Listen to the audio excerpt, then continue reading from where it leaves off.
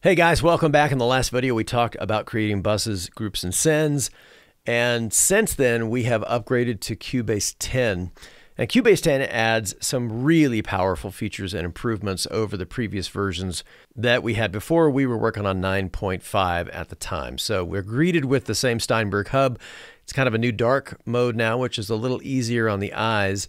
And let's open up where we left off on our small little duo that we have been practicing on up until this point. We have basically the same arrangements. Oh, but I just thought you might want something fine. And this is our little acoustic guitar duo with some vocals, harmonies, two leads, and then some orchestra parts in the background.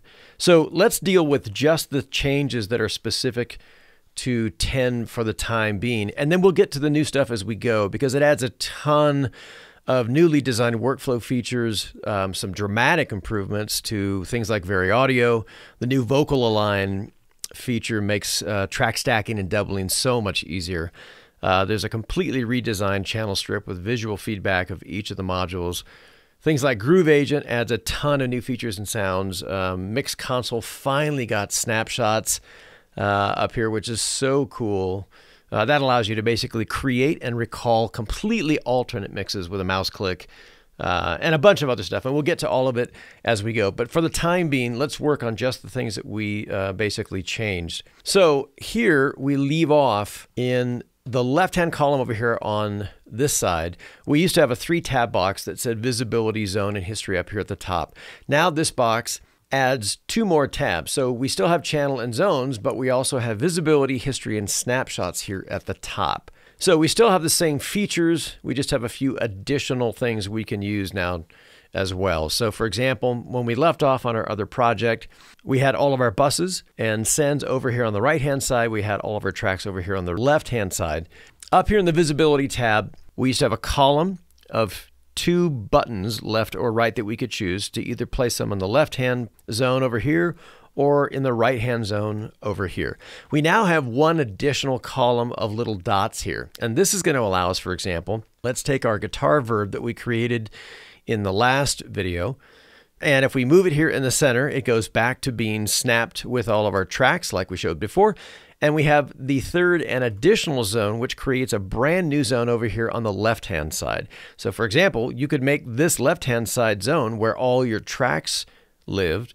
The middle zone now could be, for example, maybe just all of your effects sends, and the right-hand zone could simply be all your buses and your master. So this is completely up to you as to how you want to arrange this or how you want to set your own bus architecture. It just gives you a few more options, still operates exactly the same, but it gives you a few more choices. For the time being, we're still going to have all of our tracks over here on the left-hand side, and we're going to have all of our buses, sends, and master on the right-hand side, just to keep things fairly simplified. A few other changes that have happened, not dramatically, but for example, when you right click on a channel to create a group or a send, the dialog box opens up and you can see the same choices. If you choose one of these, Instead of having a long horizontal box like we did before, those same set of choices are basically just now in a little easier to see box. This is also easier, for example, if you have a high res screen, so the fonts are a bit clearer to see, but all the same choices are still here. You can name the track, for example, create it inside and out of a folder. You can assign it to where it's going to go. The configuration can still be stereo or mono and you can choose the effect that you're going to put on that track from the drop down menu. So all those things are still the same, they're just in a slightly different shaped box. A couple of other changes up on top that you might want to be aware of as well. Up here in our snapshots window, this is a really super powerful feature. We've finally got mix snapshots. And what this does is it allows us to create completely different mix configurations literally at the click of a button. So we click the little camera icon up here in the upper left-hand corner, this creates a new mix snapshot of our current console. This can be renamed simply by double-clicking. We'll call this Mix 1. And then, for example, we make our mix changes down here. And these can be all kinds of different changes and anything that applies to the mix console. So we make our adjustments, and then we hit that again, and we have our snapshot for, we're going to rename this one Mix 2. To simply recall those, we click here to the down arrow and we have recall mix one. It'll ask us to confirm. We say yes, and then we are back to our original mix configuration. Super powerful. It's a good thing that they ask you to confirm that. If it was just deletable by clicking on it, I think that probably would be a bad thing. Um, a real quick tour up here. So we have the snapshot window up here. The configuration buttons are still the same. Visibility agents still work the same as they did before. They're just controlled down here by the channel and zones tab on the bottom. So for example, if you wanted to see all your input channels at a glance, you would simply click and enable them just like you did before, and we would see all those across the bottom, including the one I'm using to record this video with. You can see the meters over here dancing around. Uh, so those are basically in the same place. You just have quite a bit more control over them and lots of stuff at a glance, and the addition of the extra column of the zones down here for the track and bus view.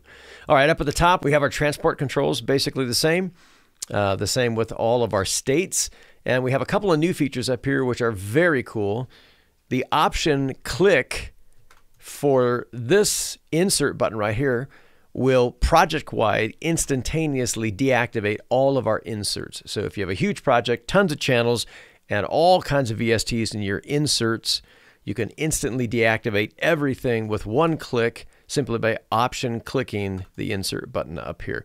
Same thing is true with the EQs. So any of the EQs that you might be using in your project here, for example, we could go up here, option click, and deactivate all of them just with one click. Super powerful. Same thing is true with the channel strip itself.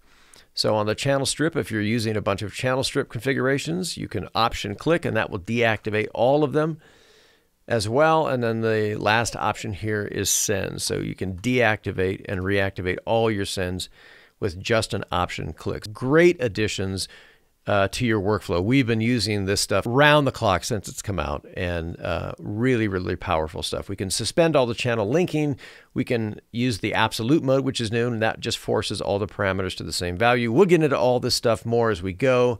Let's look at some of the new visual improvements to the channel strip interface. Been some pretty big updates. So, for example, if you choose the standard tube compressor, you now actually have a real graphic so you can visualize those as they change. And this is a really important thing, I think, because when you start to work, especially if you're working quickly, you need at a glance to be able to identify the effects you're using. And that really helps you to make kind of a mental note of what it is you're actually doing in your mix. So these are great improvements. We'll get into more as we go. But just wanted to give you a quick overview of the things that have changed in Cubase 10. Super powerful. You're going to love it. We have. So in the next video, we're going to get on to mixing our little duo project here, and we're going to put all these brand new features to work.